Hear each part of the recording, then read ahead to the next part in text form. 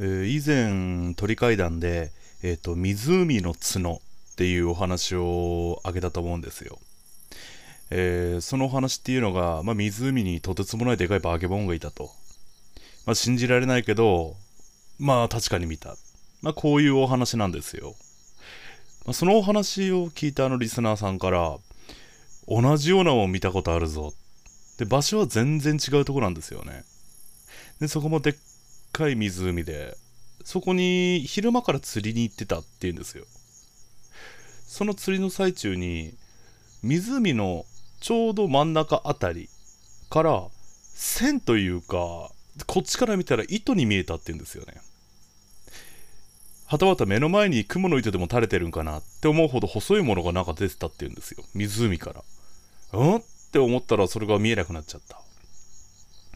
これなんだろうなっ一緒に来た人に今の見たかって何が？見てない。いやーなんか変なもんあ気のせいだいいや。まあそのまま夕方になりまあ暗くなってきたから帰るかって言ってる時に遠くの方からブワーンと船の汽笛じゃないですけどそんな風な音が聞こえた。その時は一緒に来てる人もなんだなんだキョロキョロキョロキョロしてるんですけどね。特に何もないんですよ。まああの辺で工場があるとは、まあ、聞いてもいないし調べたんだけれどもねなかったんだよ。こんなこと言ってましたね。また来る日そこの釣り場いつもと同じ場所に行って夕方手前あたりから行ってまあ釣り糸垂らしてたらまあよくわかんないもんが見える。湖の真ん中。ほら見てみあれ。糸みてえに見えねえか。どれほらあそこって光になんか反射してるだろ。あー見える。なんだあれ？なんかあのあれなんかねって水質調査するそういうなんかの機械でもあるのかね？こんなお話をしてた。それもいつの間にか見えなくなっちゃって。ああほらなくなったろ。これもあれ見たんだよ。あそうなんだ。暗くなってきたら。なんか結構波が出てきたんですよね。風もないのに。あ結構波が強いな。っていう間にその波がバシャンバシャン自分たちのように引っかかるぐらいまで大きくなってきちゃって湖ですよ。湖でもまあ波ありますけどそんなね無風の状態でバシャンバシャン来ることはないと。なんだなんだって言ってる間に目の前にさっき見た糸もう暗くなってるんですよ。でその暗くなってる状態でキラキラしてるような糸みたいなのが見える。光ってるんですよね何かが。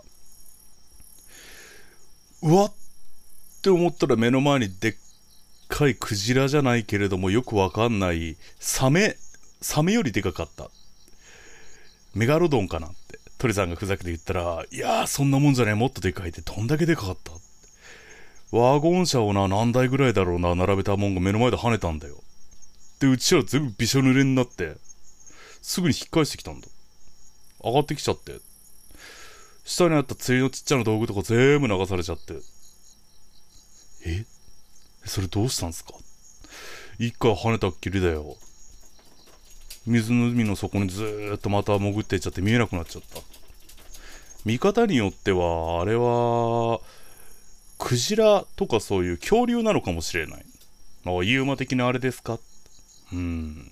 そんなもんいるわけねえじゃねえかってその人が言ってるんですよね。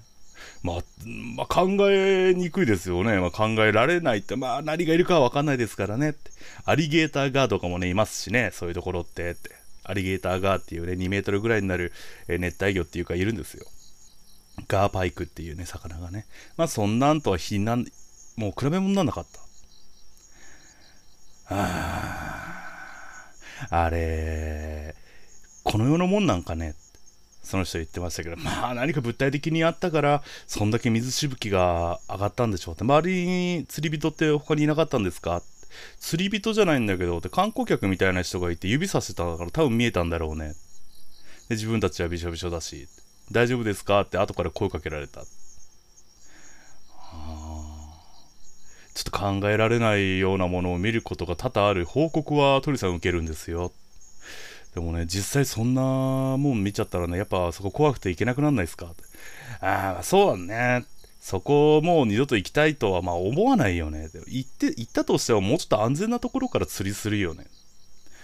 もう水面近くでしてたもんですからね。そんな波しぶきがバーってきて濡れちゃうぐらいですから。ちょこちょこ行ったりはするみたいなんですけど。まあ上から釣り糸垂らすみたいになっちゃってね。あのー、あまり水面には近づきたくないって。その話を周りの人にしたらちょっと変な話があった。もう10年以上前なんだけれども。その、えーと、他の釣り客さんが同じような同じような体験をした。バスみたいなでっかい魚みたいなものが跳ねたんだよ。遠くで。遠くで跳ねたからまあ相当なでかさだってことは分かったんだけどそれが何だか分かんない。それ一回だけ見たことあるんだよ。それかって言われていや分かんないですけどこんな話をしたと。その光る糸って後から鳥さんあのー、あるお話を読んでたことがあったんですよね。あの怖い小説というか。それにえっ、ー、と海で稀に釣れるでっかい魚の話があったんですよ。その、あのー、本の描写に月の糸って書いてあったんですよね。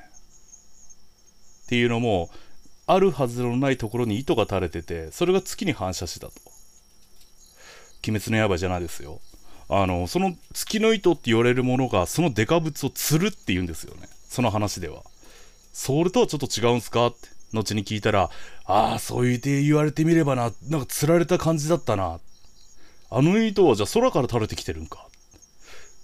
かんないですけど。うん不思議っすね。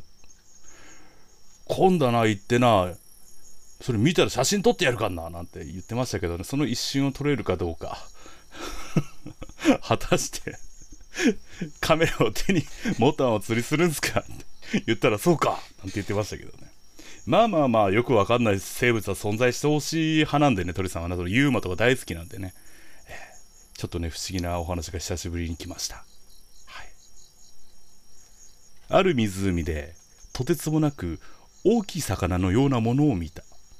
その魚はまるで空から垂れている糸につられたように水面に上がってきてまた忽然と水面の底に消えていきました